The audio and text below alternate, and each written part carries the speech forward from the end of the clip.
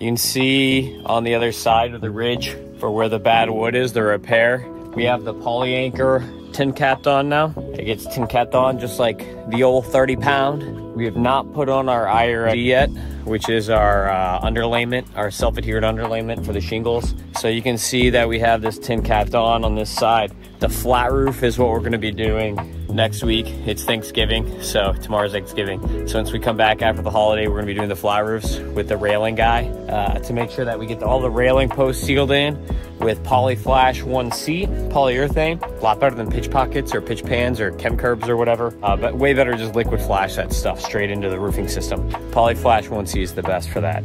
So that's what we're gonna be doing on the railing posts. I'll show you what that looks like. But you can see the, uh, the Polyanchor looks nice when installed and it's super thick. And like I showed you yesterday, there's tackiness to it. Even now, right now it's wet because of the dew. Because we're out in the farms here in Jupiter and uh, get morning dew like every morning, especially when it's cooler because it's cool outside since we're uh, around the holidays here. But you can see it gets tin capped in just like 30 pound. So pretty standard install of this stuff, but it's way thicker than 30 pound. Way better wind uplift, doesn't tear, way better product.